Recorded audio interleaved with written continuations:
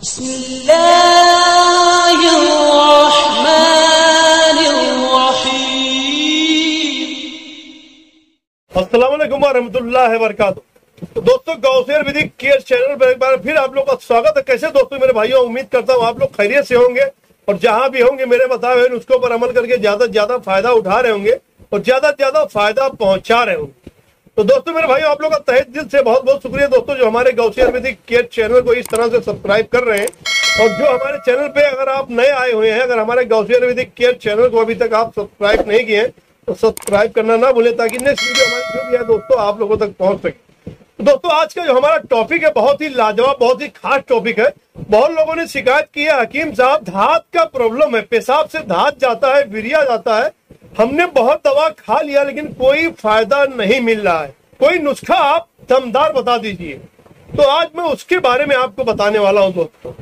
दोस्तों, पहले आप ये जान लीजिए, धात जाता क्यों है?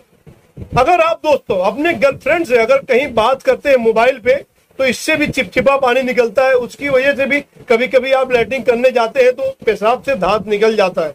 क्योंकि चिपचिपा पानी निकलने की वजह से आपको कब्ज पैदा हो जाता है, जिससे लैट्रिन खुल के नहीं होती। है ज़ोर लगाते उससे भी धात निकल जाता है।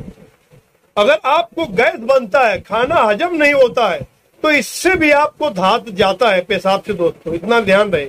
इसकी वजह सब यही रहता, दोस्तों, मेरे भाइयों। अगर आपकी कहीं मंगनी लग गई है तो उससे भी आप मोबाइल पे, फ़ोन पे बात करना चालू कर देते हैं।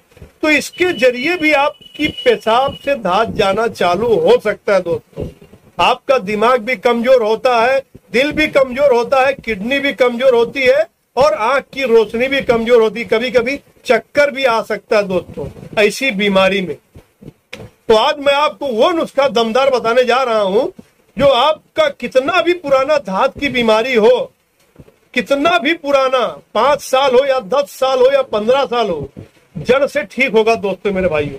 तो दोस्तों, देर नहीं करते हैं, चलते हैं फार्मूले की तरफ़। आप ये हमारा फार्मूला लिख लीजिए। तो दोस्तों, आगे बढ़ने से पहले आप लोगों से गुजारिश है, अगर आप लोग हमारे गौसी आयुर्वेदिक केयर चैनल को अभी तक आप सब्सक्राइब नहीं तो सब्सक्राइब करना ना भूले, ताकि नेक्स्ट वीडियो हमारी जो भी आए दोस्तों, आप लोगों तक पहुँच सके। तो दोस्तों, पेन और कापी लेके रेडी हो जाइए। एक एक जड़ी बूटी आप लिख लीजिए। पहली जड़ी बूटी, ताल मखाना देसी, काले वाला दोस्तों। इसमें बहुत से लोग आपको लाल वाला पकड़ा देते हैं, लेकिन आपको काले वाला। इसीलिए फ़ोटो में आपको दिखा देता हूँ। इसे आपको लेना है तीस ग्राम। दूसरी जड़ी बूटी लाजवंती, देख सकते फ़ोटो दोस्तों इसे भी आपको लेना है तीस ग्राम। तीसरी जड़ी बूटी बीज बंद। बीज बंद बोले तो बीज को बंद करने वाला जो हमारा वीरिया रहता, धातु रहता दोस्तों, उसको बंद करने वाली जड़ी बूटी, इसका नाम ही है बीज बंद। इसे भी आपको लेना है तीस ग्राम। चौथी जड़ी बूटी तुलसी का बीज, जिसे उर्दू में तुख में रेहान कहते हैं। सब्जे का बीज भी कहते हैं, जो फालूदा में खाया जाता दोस्तों। इसे भी आपको लेना है तीस ग्राम।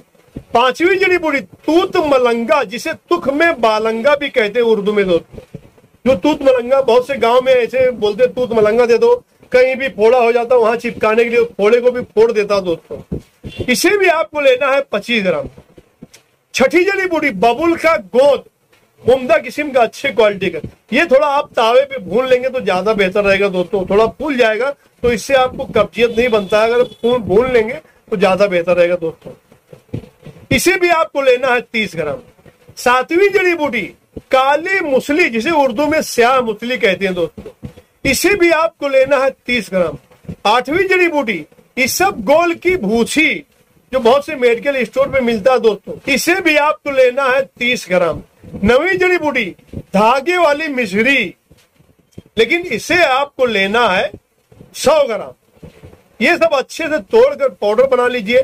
पाउडर बनाने के बाद में दोस्तों, जब पाउडर बन जाए तो कोई कांच की बर्नी में, कोई डब्बे में रख लीजिए। कोई लटकाने वाली प्लास्टिक में मत रखिए दोस्तों, उसमें केमिकल रहता है, जो दवा में असर आ जाता है दोस्तों। तो ये पाउडर दोस्तों आपको सुबह शाम एक एक चम्मच खाना है। सुबह नाश्ते पहले भी आप ले सकते ले सकते हैं या नाश्ते के बाद भी आप ले सकते हैं, जैसा जमे आपको दोस्तों एक एक चम्मच कितना दिन खाना, कम से कम आप तीन महीना खा लीजिए। वैसे आपको तो एक महीने में ही आराम हो जाएगा। बहुत से लोग बोलते हैं, एक हफ़्ते में ठीक हो जाएगा, पाँच दिन में ठीक हो जाएगा। इतने जल्दी दोस्तों आराम नहीं मिलता, थोड़ा समय लगता है, क्योंकि जड़ी बूटी दोस्तों, कोई इंग्लिश दवा नहीं है कि फटाफट अभी खाए और अभी लग गया।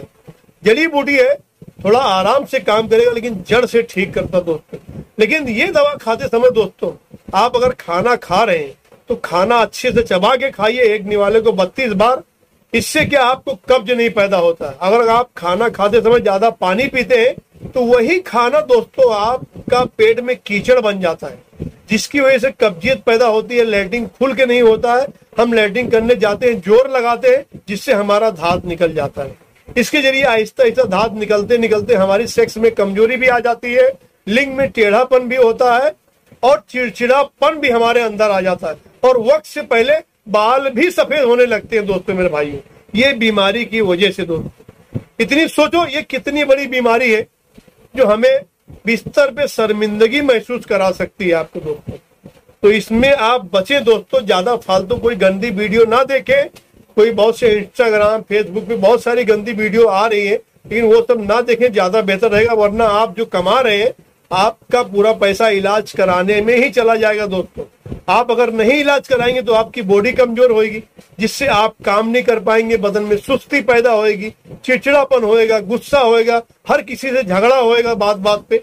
ये सब प्रॉब्लम ये बीमारी में पाई जाती है दोस्तों। इसी तरह खाइए और दूसरों को भी फ़ायदा पहुंचाइए। और जाने से पहले आप लोगों से गुजारिश है, अगर आप लोग हमारे गौसे आयुर्वेदिक केयर चैनल को अभी तक आप सब्सक्राइब नहीं किए तो सब्सक्राइब करना ना भूलें। ताकि नेक्स्ट वीडियो हमारी जो भी आए दोस्तों, आप लोगों तक पहुँच सके। बस दोस्तों, यही से इजाज़त लेता हूँ। इनशाला अगर ज़िंदगी रही तो नेक्स्ट वीडियो के साथ फिर मुलाकात होगी। खुदा हाफिज।